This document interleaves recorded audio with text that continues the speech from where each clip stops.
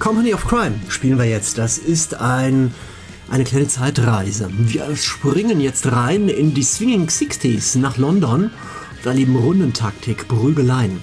Spiel ist gerade erst erschienen am 8. August. Jetzt ist der 9. Twitch-Livestream, Aufzeichnung nachher auf YouTube, WB Writing Bull. YouTuber und Twitch-Streamer und spezialisiert auf aktuelle Strategiespiele, mit einem vorrangigen Fable für Rundenstrategiespiele.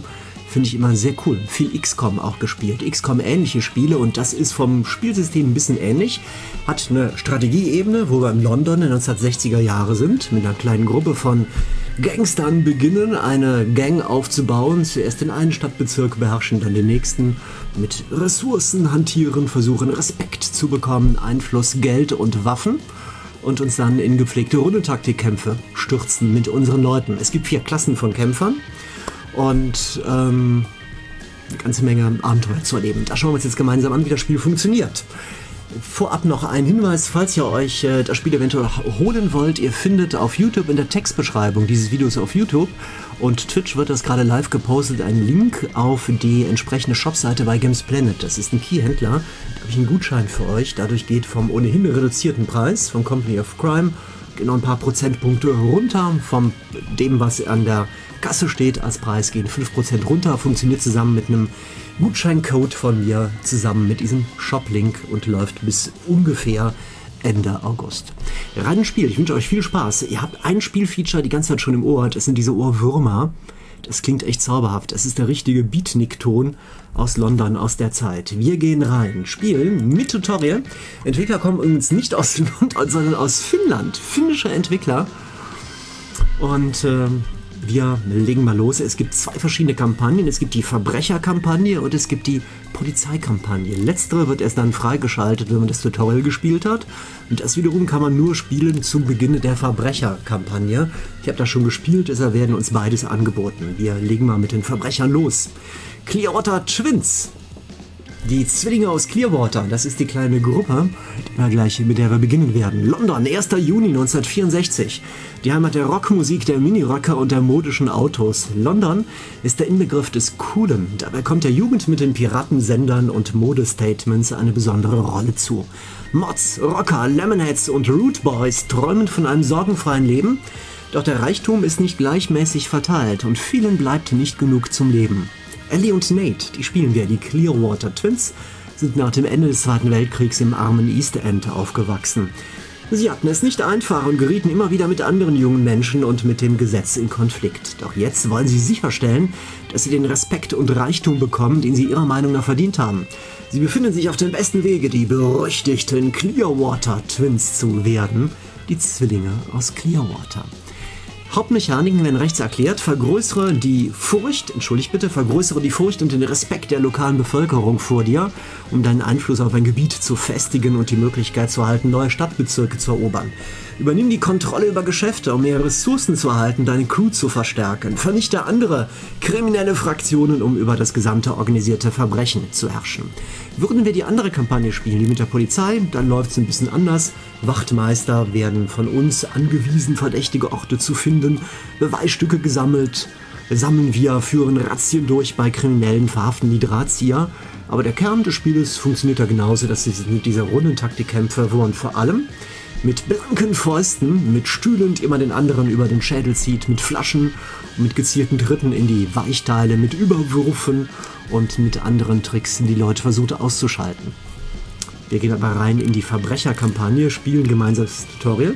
Es gibt, ihr seht es hier, drei verschiedene Schwierigkeitsgrade. Kinderspiel, stinknormal, übertrieben schwer. Die meisten werden es normal spielen, das machen wir auch. Dann bekommt ihr einen Eindruck davon, wie das Spiel funktioniert. Auf geht's, viel Spaß! So geht's los. Wie spät ist es eigentlich, Nate? fragt unsere Ellie. Kurz vor Mitternacht. Leider nicht vertont. Schade, aber kleines Entwicklerstudio, kleiner Publisher und äh, schwimmen halt nicht in Geld. Im Vergleich zu XCOM. Spiel hat ja viele Mechaniken ähnlich wie bei XCOM, vor allem bei den Rundentaktikkämpfen, aber auch im Interface, in der Bedienung auf der Karte. Hauptunterschied natürlich die bombastische Inszenierung von XCOM, aber da sind auch riesige Entwicklerteams dran beschäftigt und ganz viel Geld steckt drin. Das Spiel versucht anders zu punkten ist doch nicht ganz so teuer. Kurz vor Mitternacht. Er sollte den Laden jeden Moment schließen. Wir versuchen an erstes Spielgeld ranzukommen. Denk an den Plan. Sobald er rauskommt, stürzen wir uns auf ihn, schlagen ihn bewusstlos. Dann stehlen wir so viele Juwelen wie nur möglich und fliehen durch den Hinterhof. Bist du bereit, Ellie? Seid ihr bereit? Ich bin's. Mehr als bereit. Ein schnelles Rein und Raus und wenn er zu sich kommt, sind wir schon über alle Berge. Auf geht's. Da hinten zwei Leute leider, ein Bediensteter und der Juwelier, der Ladenbesitzer. Du kannst hinter dir abschließen, sagt der Juwelier und nach Hause gehen. Ich bleib nur eine Weile und sehe mir die Bücher an. rausmarschieren. Einen weiteren Nachteil seht ihr, die Animationen, insgesamt was drin steckt in 3D-Animationen und so weiter. Das ist natürlich auch nicht, da steckt auch nicht so viel Kapital drin. Anders sieht es aus mit der Spielwelt, ähm, mit der Inszenierung, also Musik und Texturen, auch die vielen kleinen Objekte, die ihr in den verschiedenen Läden gleich sehen werdet. Das ist sehr liebevoll gemacht und das erzeugt wirklich das Flair dieser Zeit und das Flair von London, aber auch bei den 3D-Animationen sieht man, weniger Geld stand den Entwicklern zur Verfügung, die kommen von einer anderen Ecke her. Die versuchen halt mit einer frischen Spielwelt und mit ein paar, mit einem Szenario, das man so noch nicht erlebt hat, zu punkten. Luft ist rein, los jetzt! Spiel wird erklärt. Es gibt zwei Aktionspunkte für jeden Charakter und jede Aktion verbraucht eine. Es gibt allerdings, das sehen wir auch gleich, die Möglichkeit, ähm, direkt zuzuschlagen. Manchmal geht das und dabei keinen extra Bewegungspunkt aufzubrauchen, drei nach.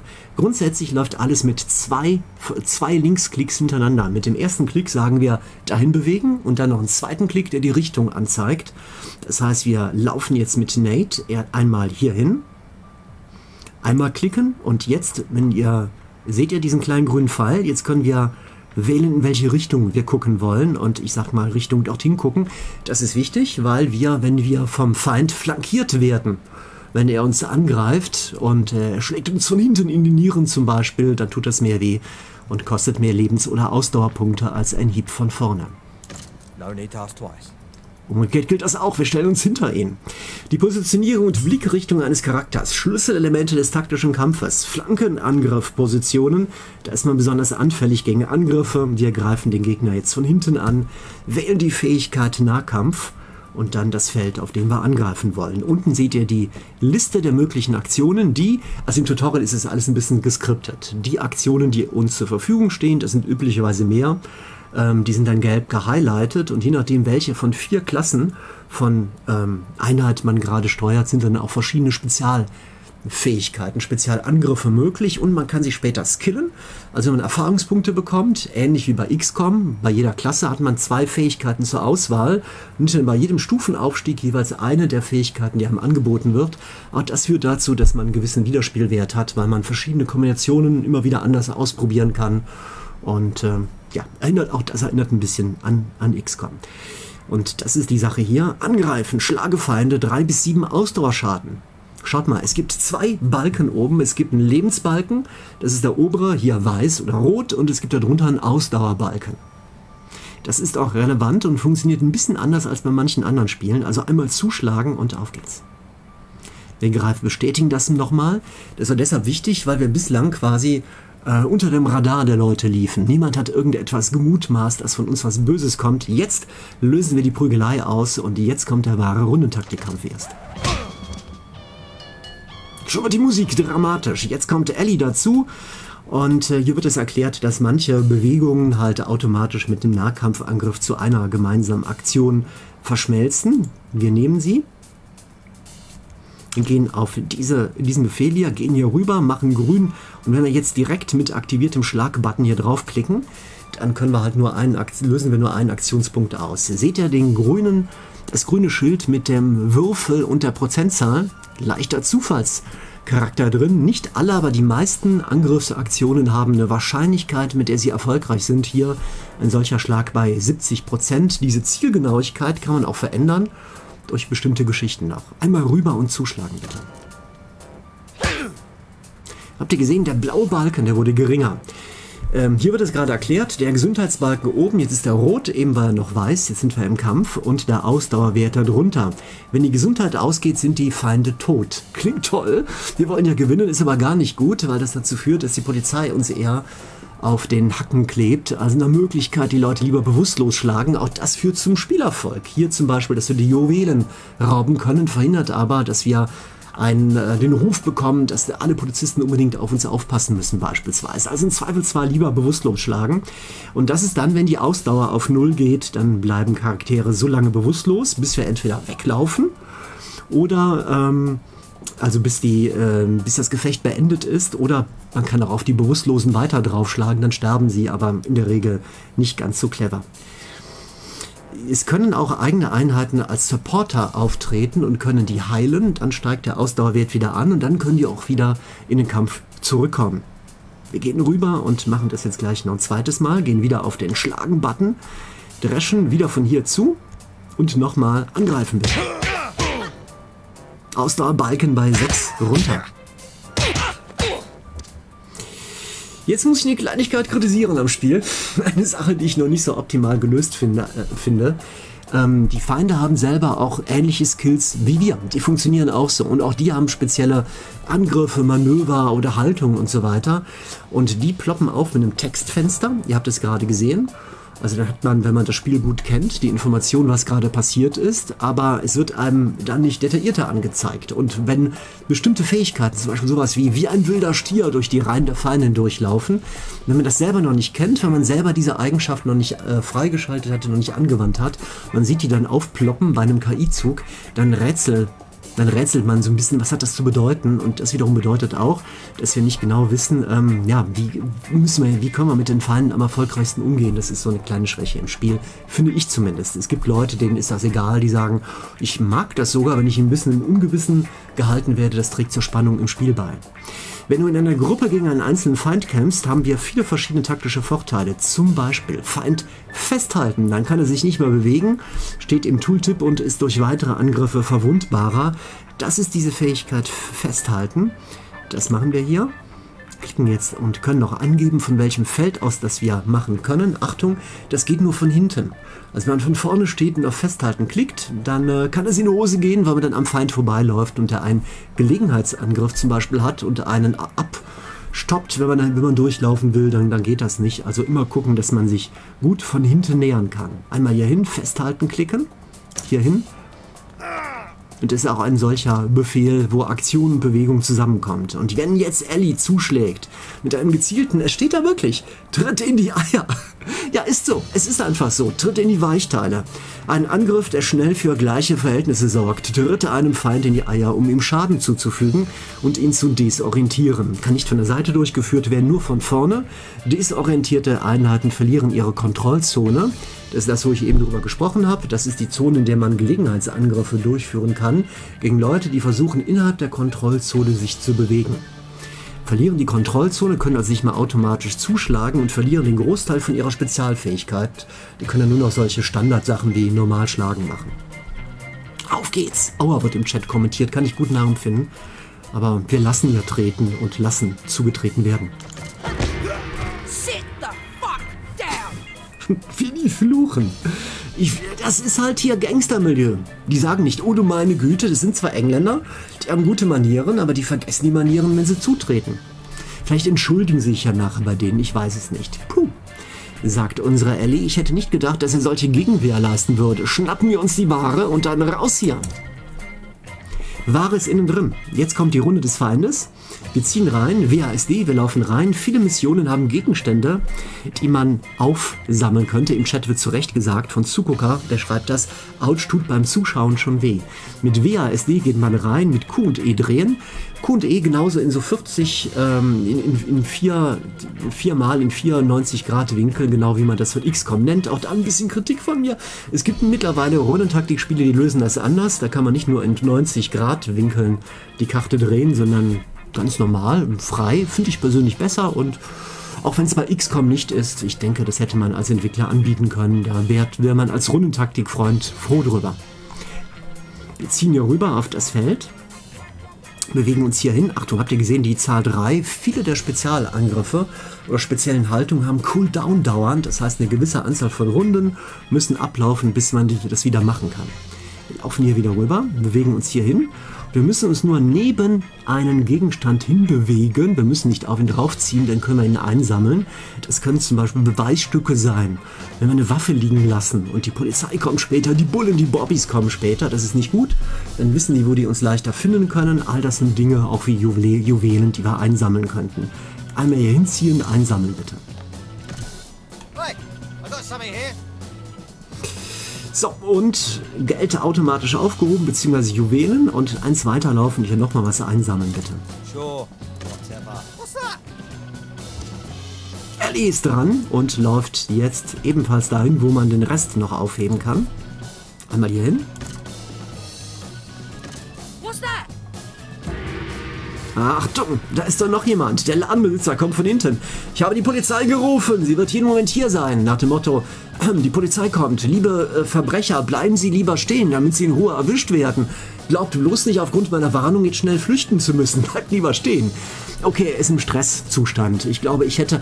Vielleicht will er auch verhindern, dass Sie sich auf ihn stürzen und ruft das deshalb rüber. Oder er glaubt, dass Sie jetzt vollkommen verschrocken die Juwelen fallen lassen und äh, ja, und dann einfach so abhauen. Ich weiß es nicht. Ich weiß es nicht. Verdammt, der Besitzer ist noch immer hier. Wir müssen uns auch um ihn kümmern. Wir haben Geschmuck, genug Schmuck. Hauen wir ab, Ellie. Angreifen oder abhauen? Er rennt auf ihn zu.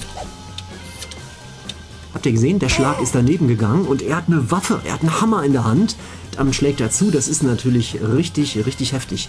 Hört im Hintergrund, da kommt schon die Polizei. Da kommen die Sirenen und nähern sich.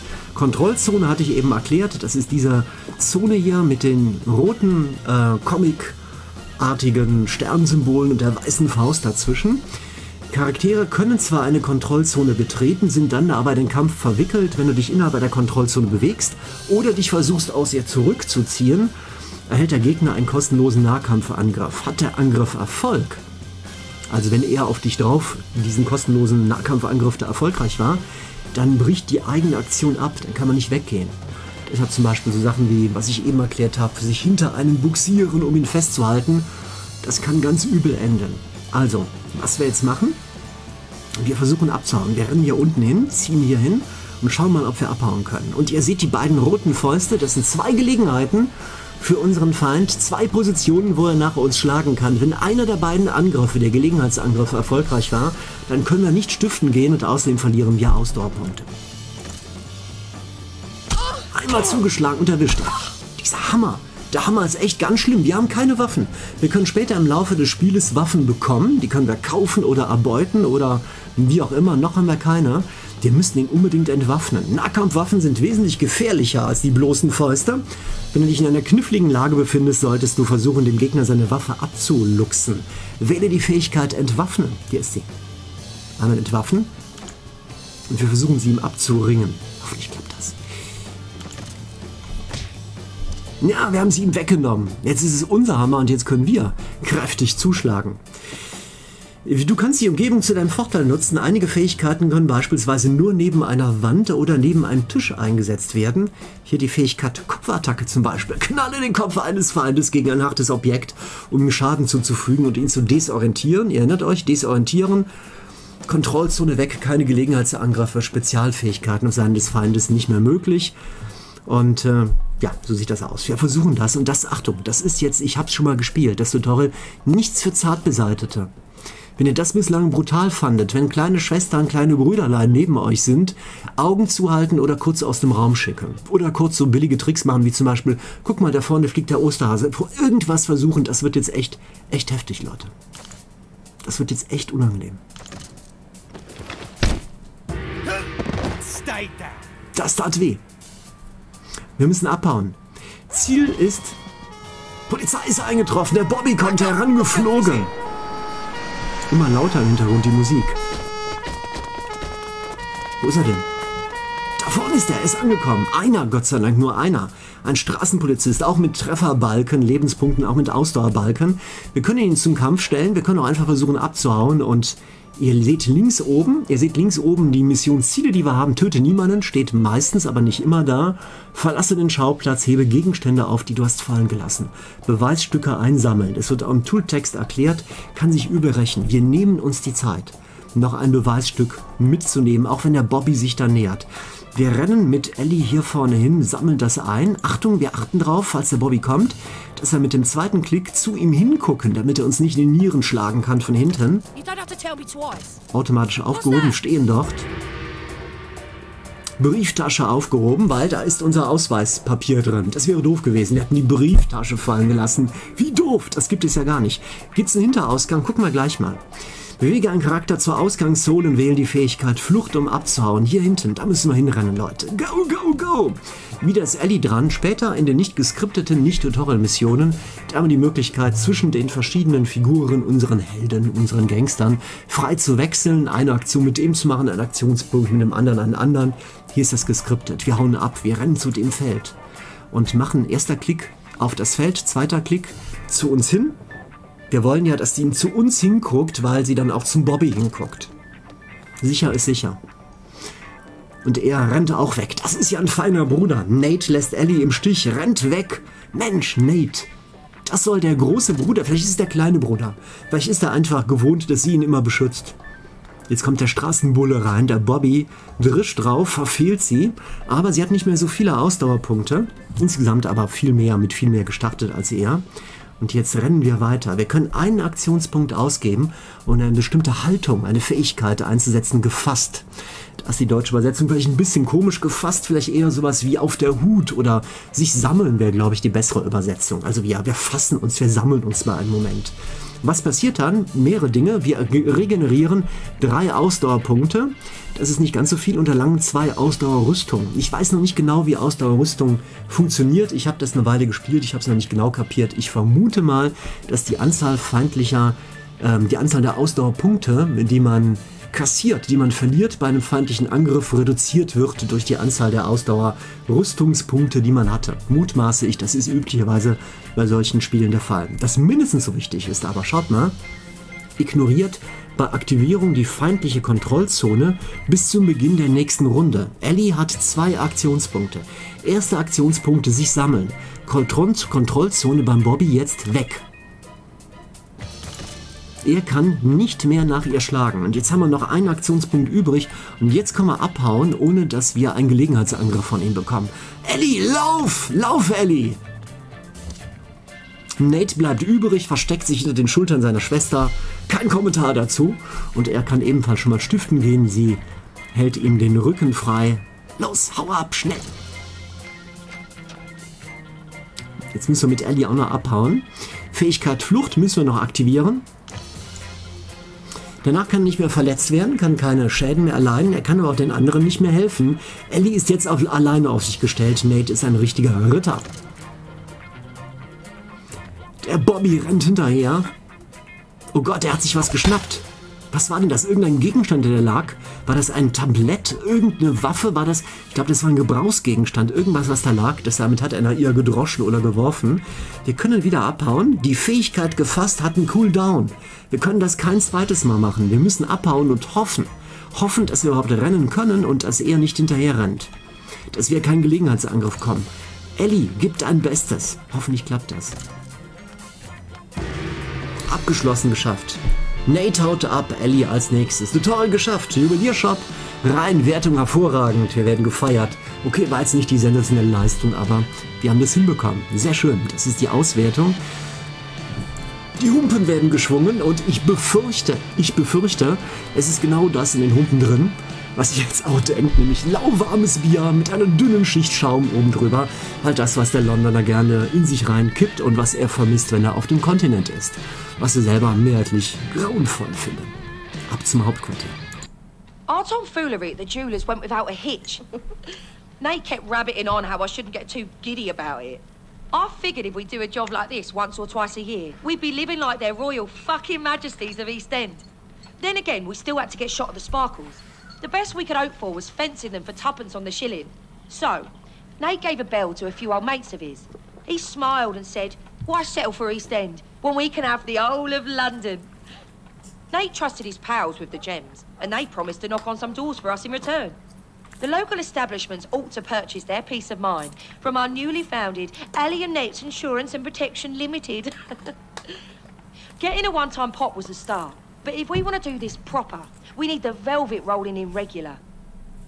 So, das habe ich mal nicht vorgelesen, ihr konntet es lesen. Vor allem diesen dreckigen, diesen dreckigen Sound, diesen Londoner ähm, lokalen Sound, den wollte ich euch lassen. Das ist schon, das klang schon sehr, sehr originell, fand ich. Nächster Schritt. Schaut mal unten in die Mitte des Bildschirms. Wir haben drei, das ist der strategische Modus zwischen den Rundentaktik-Aktionen.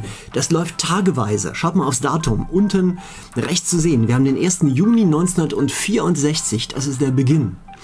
Und wir haben drei verschiedene Reiter unten. Karte, da sind wir gerade, das ist der Überblick über die Karte. Und London ist unterteilt in Bezirke. Ganz rechts zu sehen die Crew. Wir heuern Leute an. Im Augenblick sind unsere Twins, die Zwillinge zu zweit, logisch. Wir brauchen immer noch mehr Leute, viele Kämpfe lieber durchführbar mit ein paar Leuten mehr als nur zwei. Außerdem können wir auch mehrere Leute, wenn wir mehrere haben, getrennt auf unterschiedliche Missionen schicken, um zum Beispiel Dinge zu kaufen oder um äh, Schutzgeld zu erpressen, um Überfälle zu begehen, um fremde Bandenverstecke auszuheben oder was auch immer zu machen. Des Weiteren in der Mitte, Hauptquartier, das ist die allgemeine Verwaltung. Da können wir unsere Ressourcen uns anschauen, gucken, wie das Ganze läuft, unser Geld zählen und äh, Planung machen und so weiter. Und die Karte ist unterteilt in verschiedene Distrikte. Wir starten hier im East End, ganz im Osten von London, können dann allmählich immer mehr von den anderen Regionen freischalten. Oben in der Bildmitte, schaut mal hier, da seht ihr dieses Feuersymbol. Das ist der Druck, der zeigt an, wie sehr die Polizei hinter uns her ist. Und äh, immer dann, wenn wir eine Stufe weiter sind, wenn wir das Aufsehen der Polizei ähm, erweckt haben, deren Interesse geweckt haben, gibt es halt einen neuen Effekt und es muss nicht unbedingt der schönste und der beste sein. Es gibt aber Möglichkeiten, den Druck zu senken, das schauen wir uns später an. Dann seht ihr rechts oben noch das liebe Geld. Wir haben gerade Geld erbeutet.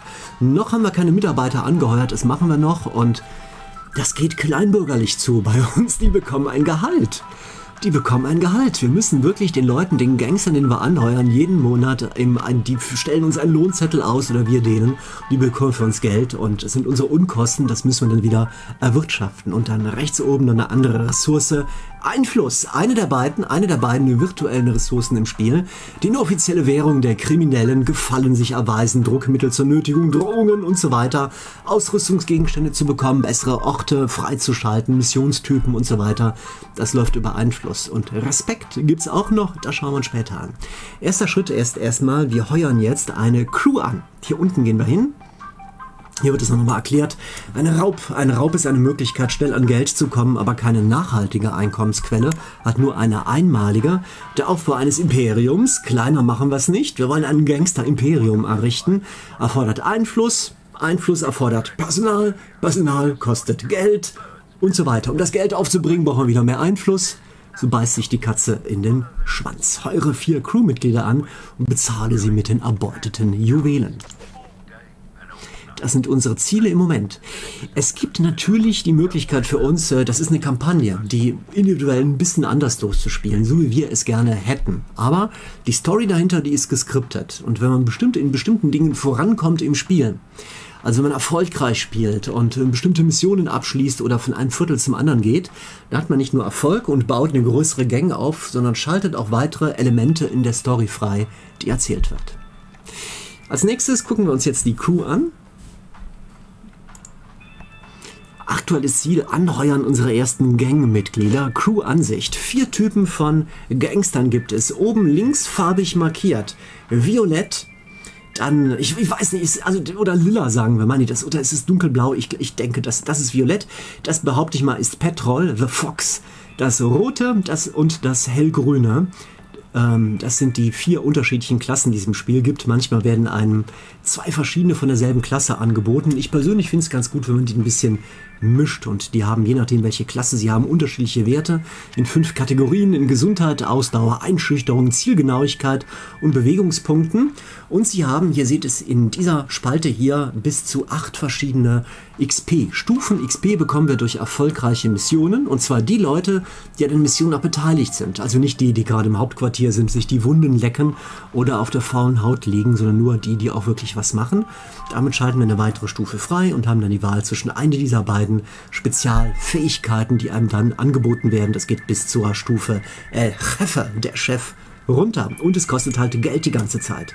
Im Augenblick ist unsere Crewgröße auf vier beschränkt. Wenn wir erfolgreich spielen, bekommen wir halt mehr, mehr Respekt, mehr Einfluss und was weiß ich und können weitere Slots freischalten. Das ist die Klasse Türsteher ist die eine Klasse hier, vier Klassen, unterschiedliche Farben. Das ist unser Ansehen. Wir können vier Crewmitglieder im Augenblick anheuern. Im Laufe der Zeit werden es mehr. Und wir werden als erstes, das ist die Vorgabe des Spiels in der Story, vier Crewmitglieder anheuern. Jede, Rekrut jede Rekrutierung kostet zum einen einmalig Geld und zum zweiten monatlich ein Gehalt. Vier Leute heuern wir an. Die erste haben wir gerade schon angeheuert. Das war sie hier, der Türsteher, The Fox. Da können wir, glaube ich, gerade hm, gar nicht gucken gehen. Nee, das war nicht The Fox. Ich gehe mal eins zurück, mal gucken, ob das klappt.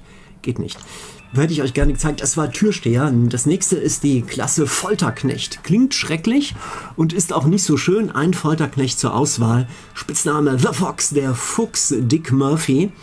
Und äh, Folterknechte Experten wie das Erzeugern bestimmter Statuseffekte an Feinden. Klingt sehr abstrakt. Augen, Knie, Weichteile sind selten sicher, wenn Folterknechte in der Nähe sind. Echte Sympathieträger. Auf unserer Seite wertvolle Mitglieder. Man möchte nicht unbedingt, dass man ihnen auf Seiten der Gegner allerdings begegnet. Und die beginnen mit diesen beiden Aktionen hier. Drohen kann Feinde in Panik versetzen und Stuhlschlag. Falls ein Stuhl neben uns steht, Feind über den Kopf ziehen. Feind kann eventuell desorientiert werden. Wir heuern The Fox an. I'm on it. Jetzt haben wir zwei zur Auswahl, zwei Hirne. Bessere Übersetzung wäre wohl das Gehirn. Entweder Ballet oder Shaggy. Aber wisst ihr was? Da schauen wir uns. Äh, auf Twitch geht's weiter, auf YouTube sage ich das mal im zweiten Video an. Nochmal der Hinweis, falls euch das Spiel interessiert, auf Twitch wird der Link gepostet, auf YouTube steht in der Textbeschreibung. Ich habe einen Shop-Link auf Games Planet, da bekommt man das Spiel billiger. Und ich habe einen Gutscheincode, durch den man das Spiel noch ein bisschen billiger bekommt, zeitlich befristet bis über den Daumen Ende August. Dabei gilt, ich verdiene ein bisschen mit, auf Kosten des Shops, nicht auf eure Kosten. Kein grauer Markt, legale Quelle. Key wurde gekauft von Games Planet direkt beim Publisher. Und wir spielen noch ein bisschen weiter.